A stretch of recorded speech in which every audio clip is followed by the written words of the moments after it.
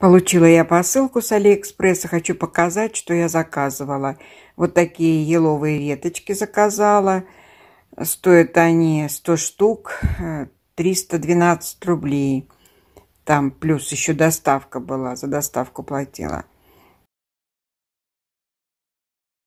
Вот такие бусинки на проволоке красного, розового и золотого цвета. 50 штук, 89 рублей примерно цена. Качество неплохое, только в розовом цвете немножко были помятые бусины. Еще пришли вот такие бантики красного цвета. На ощупь они как бархатные, плотные.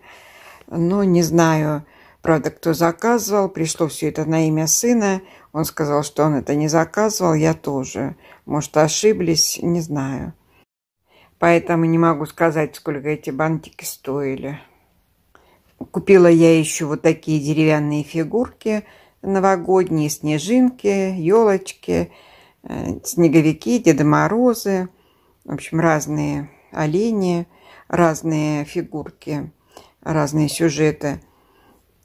И цена у них от самых мелких по размеру 51 где-то рубль, ну, примерно. И большие стоят 79 рублей за 50 штук.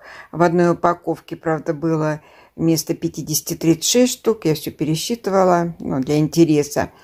Там в нескольких упаковках было по 51 э, штуке. А вот в одной прям видно было, что мало. Я пересчитала, оказалось 36 штук. Открыла спор, мне вернули 30 рублей. И, в общем, я качеством довольна. Фигурки неплохие по качеству. Но думаю, что все-таки цены, не скажу, чтобы такие прям низкие. Может, это мне только кажется. Но мне кажется, можно найти и подешевле. Или за такую же цену в России товар.